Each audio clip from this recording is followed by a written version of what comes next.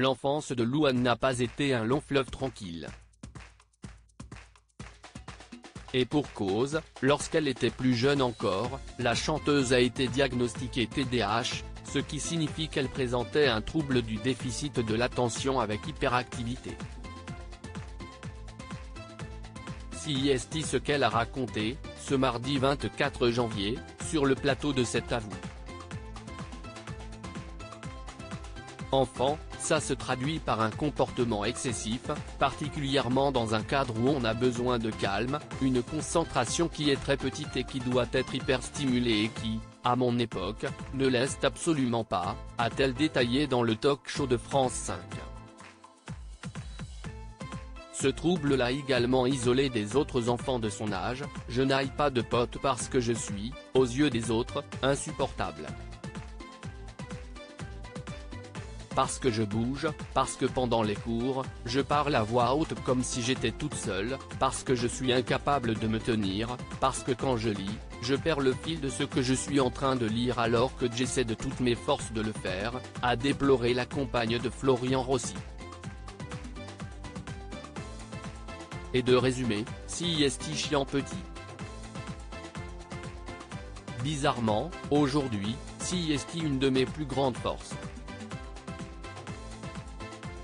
Dans une vidéo publiée sur la chaîne YouTube du média Origine en décembre dernier, Luan a eu envie d'écrire une lettre, ô combien poignante, à la petite fille de 8 ans qu'elle était.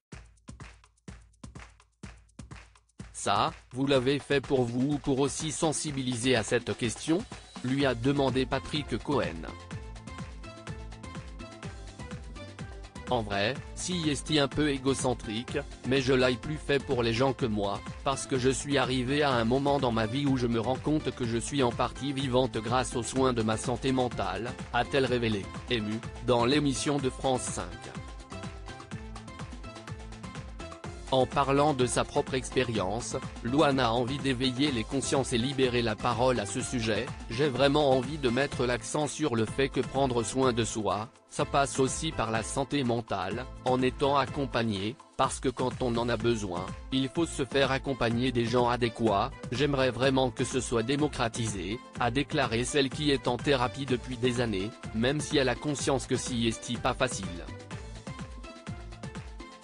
supérieur à supérieur à Luan, retour sur son évolution physique et ses plus belles coiffures et Luan sans tabou sur ses pensées suicidaires dans cette même vidéo, Luan a évoqué, à cœur ouvert, différentes périodes de sa vie. La compagne de Florian Rossi est notamment revenue sur la dépression dont elle a été victime et les pensées suicidaires qui l'ont de traverser plus jeune. Dès que tu te retrouves seul, déjà tu te retrouves seul et ce n'est pas facile, mais surtout, tu te retrouves prise au piège des insultes, des bousculades, des phrases balancées qui résonneront dans ta vie pendant des années, a-t-elle confié, avant de poursuivre, si est-ce à ce moment-là que tu prendras conscience de ton corps et vraiment de la pire des façons. Alors tu vas rentrer dans des phases de merde, des phases dangereuses. Tu ne manges pas, si tu manges, ça ne reste pas. Tu te fais du mal et tu ne veux plus vivre, a révélé la maman d'Aimé en lisant la lettre qu'elle a écrite pour résumer son passé douloureux. Les années passent, tu as plus de 19 ans, tu as fait une belle dépression et tu t'es mise en mode pilote automatique. Alors en 2018, ça pète, tu arrêtes, tu fais une pause.